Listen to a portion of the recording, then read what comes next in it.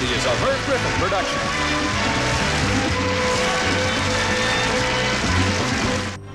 Columbia TriStar Television.